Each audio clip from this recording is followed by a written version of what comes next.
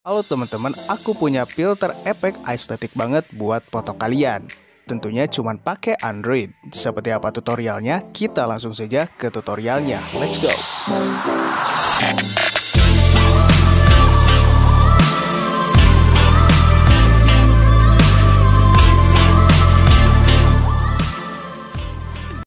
Halo teman-teman, kembali lagi bersama gue Kucing Oren dan kita bakal ngedit lagi ya. Nah, untuk filter kali ini tuh cocok banget buat kalian yang tentunya pakai HP ya.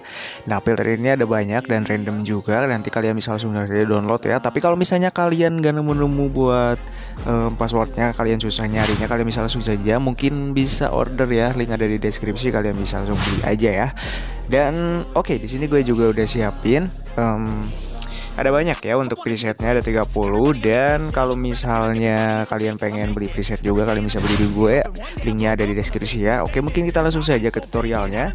Nah di sini gue udah siapin beberapa foto ya. Kalian bisa langsung saja siapin foto yang akan kalian edit juga. Nah di sini kita bakal ngedit bareng aja ya. Dan kita saling belajar nah kita atur di pencahayaannya terlebih dahulu. Nah karena di sini pencahayaannya kurang dan kita bakalan naikkan di 0,40 jadi di sini gue bakal um, buat filter yang terkesan natural dan cerah ya ya mirip-mirip kamera iPhone mungkin ya. Nah, di sini kalian bisa naikkan, lanjut untuk kontrasnya kalian juga bisa naikkan. Nah, sebagai catatan kalau misalnya pencahayaan di foto kalian sudah pas, kalian gak usah atur. Jadi menyesuaikan aja gitu. Nah, kalian bisa naikkan juga agar si fotonya terkesan tajam ya. Nah, kurang lebih seperti ini. Untuk kontrasnya dan untuk highlight ya kalian bisa turunkan. Fungsinya itu untuk meredupkan cahaya yang ada di foto kalian. Jadi kalian bisa turunkan aja di minus kurang lebih 50-an. Nah, seperti ini kurang lebih untuk pengaturannya. Dan untuk bayangannya kalian bisa naikkan ya, kurang lebih di angka 46-an ya. Nah, seperti ini. Nah, jika sudah lanjut ke rona putihnya, nah kalian bisa lihat fotonya tuh terkesan silau ya. Jadi kalian bisa turunkan rona putihnya agak banyak. Jadi fungsinya tuh untuk meredupkan cahaya yang berpotensi silau. Jadi kalian bisa turunkan aja di minus 68. Otomatis cahayanya tuh meredup ya. Dan hitamnya kalian bisa naikkan di 32an. Nah, fungsi warna hitam tuh untuk mencerahkan area gelap di foto kalian. Nah, kalian bisa lihat tuh perubahannya sudah terlihat jelas. Dan jika sudah seperti ini, kalian bisa langsung lanjut ke menu colornya. Nah, di sini kalian simpel aja ya, naikkan aja vibrance-nya jadi agar si warnanya itu lebih keluar lagi gitu dan enggak pudar gitu untuk warnanya. Jadi kalian bisa naikkan. Nah, di 26 atau mungkin kalau kasusnya di foto kalian tuh ya pudar banget warnanya, kalian bisa naikkan lebih banyak lagi. Nah, seperti ini dan lanjut ke campuran warnanya. Nah untuk warna merah kita bakalan coba wa warnanya itu kita lebih merahin lagi Caranya kalian naikkan ya untuk kejenuhannya. Otomatis si warna merahnya itu lebih naik lagi. Nah seperti ini. Dan untuk luminous kalian naikkan sedikit aja agar terkesan lebih cerah Nah, kalian bisa lihat seperti ini tuh pengaturannya. Dan jika sudah, kalian bisa langsung next ke warna orange-nya. Kita bakalan atur warna kulitnya ya. Nah, di sini kalian bisa menyesuaikan juga karena setiap foto itu biasanya berbeda-beda untuk warna kulit kalian gitu. Tapi kalau misalnya ingin lebih cerah, kalian bisa naikkan luminosnya banyakin aja. Nah, di sini kalian langsung saja naikkan luminosnya di 16 ya karena di sini sudah terkesan lebih cerah dan udah pas gitu. Jadi nggak terlalu banyak kalian juga bisa menyesuaikan. Dan jika sudah ke warna kuningnya nah untuk warna kuning kalian langsung saja turunkan hmm, atau mungkin tenaikan aja ya untuk kejenuhannya. Agar si warna kuningnya lebih kuat lagi warnanya. Dan kalian bisa hmm, turunkan ya untuk coronanya. Nah, jadi agar si warna kuningnya agak oranye gitu ya. Jadi kalian bisa turunkan sedikit di minus 8. Nah, untuk pengaturannya kurang lebih seperti ini dan lanjut ke warna hijau. Nah, untuk warna hijau kita bakalan buat lebih hijau lagi. Caranya kalian naikkan dulu kejenuhannya. Di angka 33 lalu untuk coronanya kalian juga bisa naikkan ya agar si warna hijaunya lebih hijau lagi. Karena di foto ini tuh warna daunnya itu agak kuning ya jadi kalian bisa naikkan. Tapi kalau misalnya di warna foto kalian daunnya udah hijau ya kalian naikkan sedikit aja untuk coronanya. Nah untuk warna aqua kalian langsung saja naikkan kejenuhannya di 40-an ya. Lalu untuk coronanya kalian bisa naikkan jadi agar warna aqua yang ada di foto kalian tuh agak membiru gitu. Nah kurang lebih seperti ini tuh pengaturannya Dan jika kalian sudah mengaturnya, lanjut ke warna birunya.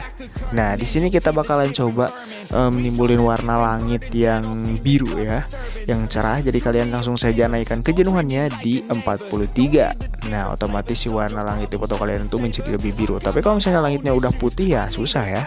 Jadi kalau kalian harus um, usahain ya fotonya itu harus ada unsur langit yang cerah. Nah, untuk warna ungu kalian langsung saja turunkan kejenuhannya seperti ini ya untuk memudarkan warna ungu yang ada di fotonya tapi nggak ada action warna ungu yang terlalu mencolok ya jadi nggak terlihat tuh perubahannya dan untuk warna pink kalian turunkan juga untuk kejenuhannya sedikit aja ya Nah, kurang lebih seperti ini tuh pengaturan di menu color.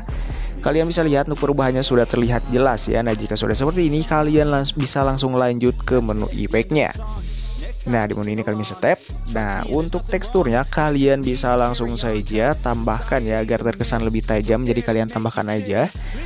Kurang lebih di 12. Lalu untuk kejernihannya kalian bisa turunkan. Nah, kalau misalnya kejernihannya terlalu banyak kalian turunkan itu menimbulkan efek blur ya tapi blur estetik itu enggak blur yang autofocus gitu nah untuk efek kabut kalian naikkan 10 aja. Nah untuk pengaturan di menu efek seperti ini.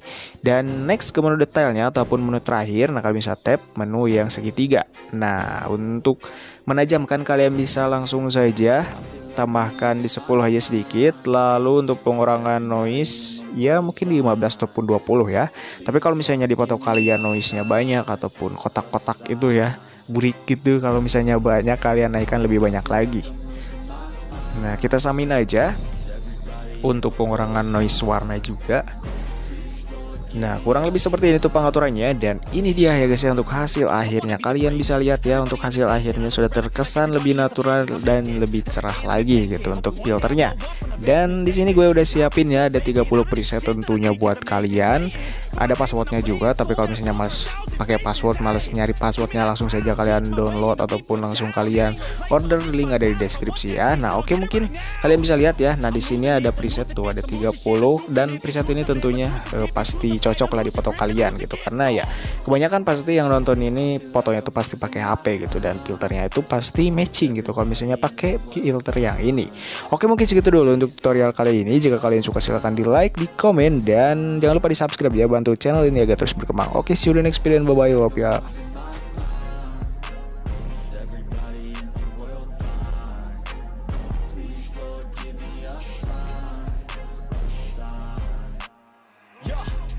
no mercy in this world, just hunger thirsty persons in different versions. Each new update, that shit worsens. Why? Pull the curtain and you'll see the different vermin. We all have different burdens that all seem to cause disturbance. Yo, do me a favor, don't treat me like a neighbor. Don't need the different flavors of your problems just to savor. I've got my own issues, I need a comb to get through. Don't need to groan with you, just go get your own tissue I feel like I'm losing my mind Is everybody in the world blind? Please, Lord, give me a sign.